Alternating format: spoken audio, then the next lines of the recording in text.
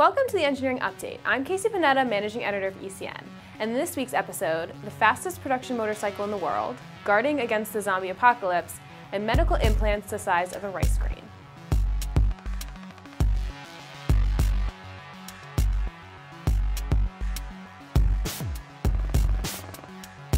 The Lightning LS218 is set to be the fastest motorcycle on the planet. With a top speed of 218 miles per hour, 200 horsepower, and 168 foot-pounds of torque, this bike is set to blow its competitors out of the water after its release in the summer.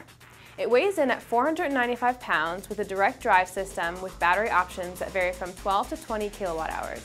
Did I not mention it's an electric bike? With an IPM liquid-cooled 150 kilowatt plus 10,500 RPM electric motor. While 218 and Lightning LS218 pays homage to the bike's top speed, the Lightning references the claim that it takes 30 minutes to top up on a quick charger. It has all sorts of add-on goodies, including a carbon fiber frame to reduce weight or a fully programmable Android touchscreen dashboard. But the standard bike offers top-of-the-line shocks, wheels, and brakes. If you're interested, keep an eye out for the US release. They're built to order for a cool $38,888. You probably suspected that the Pentagon has a plan for every possible contingency, and you'd be right.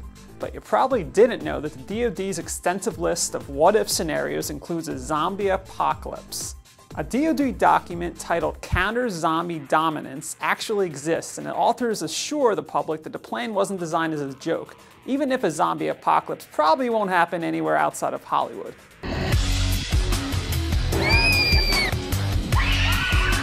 The DoD routinely utilizes fictional training scenarios to test the mettle of young trainees, but when some of these scenarios go public, say our plans for invading China, it creates massive political fallout that's more trouble than any acquired benefits. So the DoD chose to reference what they deem a completely impossible scenario that could never ever be mistaken as a real plan, much to the chagrin of horror nuts and survivalists worldwide.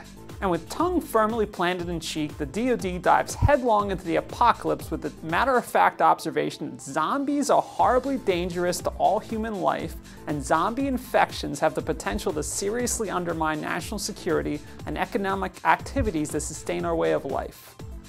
Of course, this means that having a population is not composed of zombies or at risk from their malign influence is vital to US and allied national interests, which you have to imagine would be true.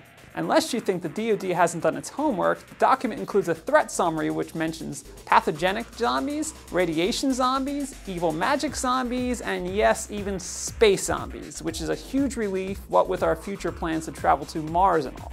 If you're looking for a good laugh and sound military strategy, I'd highly recommend you check out the DoD's Counter Zombie Dominance Plan, which should be linked to in the description below. As the medical world embraces increasing amounts of implantable devices as solutions to long-standing medical problems, as well as for monitoring health, power has become a reoccurring problem. Not only is the battery generally the largest and therefore most restrictive part of an implantable device, recharging batteries limits where and how deeply the devices can be implanted, which in turn makes them less effective. But researchers at Stanford University may have come up with a way to solve all the power problems with one device. But first, a little background. Traditionally, wireless implants are charged via near-field waves, which is a type of electromagnetic wave capable of avoiding the interaction with biological tissue. The downside is that near-field waves are not capable of reaching very small devices that are deeply implanted in the body, which is the optimal location for certain implantables. Another option is far-field waves, which can travel further but interact poorly with the body. For a long time, it was believed that these were the only two types, but researchers have discovered a sweet spot between near and far field waves called the midfield. Utilizing midfield waves allows researchers to reduce the size of implantable device to the size of a grain of rice that can be implanted anywhere in the body and safely powered. The size of the batteries is the last real barrier to total miniaturization of medical devices, and with this technology, that's no longer an issue.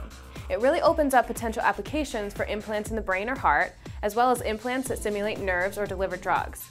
They could be used to treat Parkinson's, epilepsy, depression, and a host of other medical problems. That's all for this week's episode. Be sure to check us out on Twitter and Facebook and see past episodes at ecnmag.com. For the ECN channel, I'm Casey Panetta and this has been your Engineering Update.